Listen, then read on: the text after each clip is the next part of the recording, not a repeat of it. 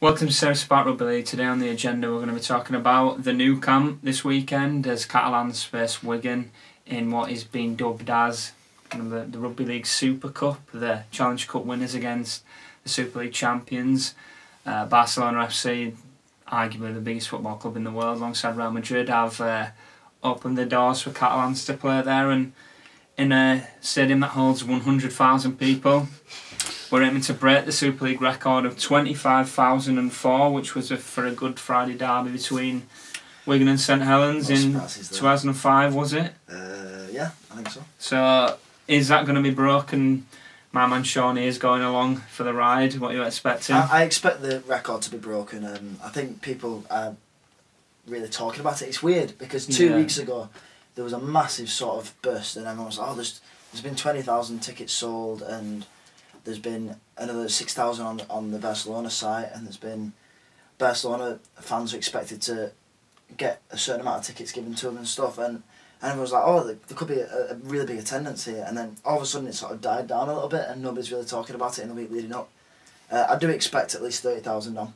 I think that's a reasonable ask, given that three weeks ago took 20,000 tickets were sold. I feel like in three weeks you, you could expect 10,000 more to be to be sold. And obviously with Barcelona's uh, social media platforms then starting their advertising campaign as well, you can you you've seen so, some Spanish and Catalonian people commenting on the, on those posts saying, "Oh, I might I might go to this. This looks interesting."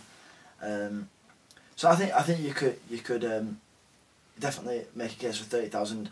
If we're lucky, there's a massive upsurge in, in Spain that we don't know about because obviously we're not part of the the, the media sort of uh, cult out there. So um, hopefully that does happen. We push up to thirty five thousand, and then all of a sudden it's it's one of the biggest events that the sport's ever had.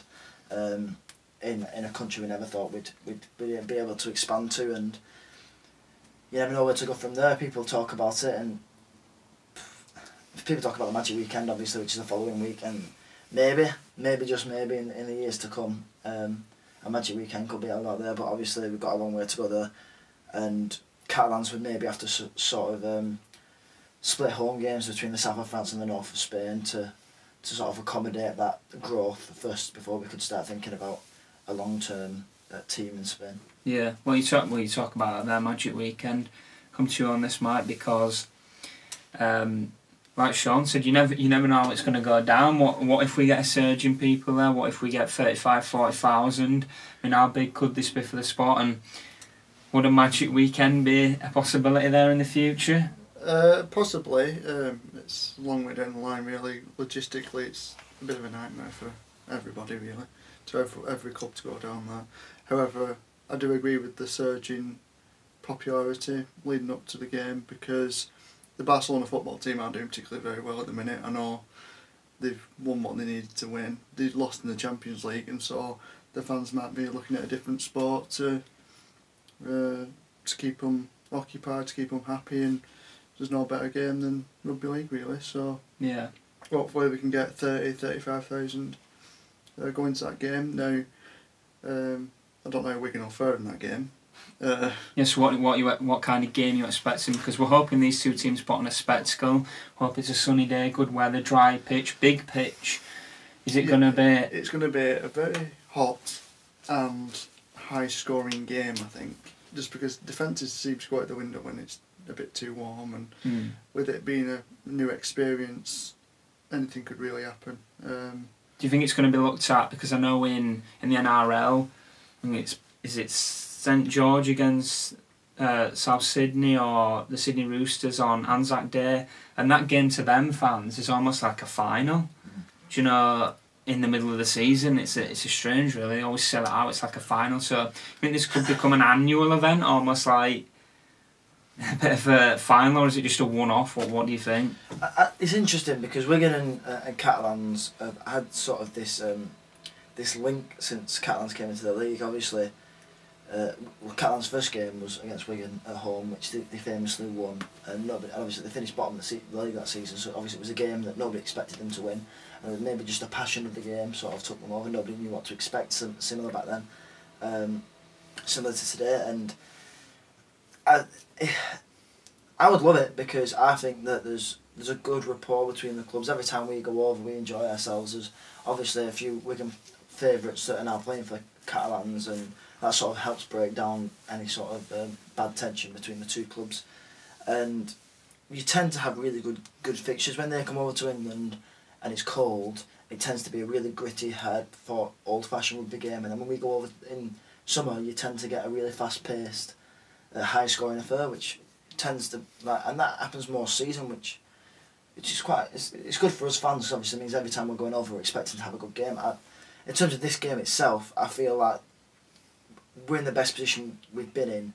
Three weeks ago, you're looking at it, you see Wigan play against Castleford, and you think, bloody hell, this this is the team that's this is the team that's advertising the sport to the world. And I, I don't know if I want to go anymore. But um, obviously, Wigan play, Wigan played against highly favoured Warrington at the weekend, and not only played, matched them. If not, they were unlucky not to win, and maybe with a better team on the day.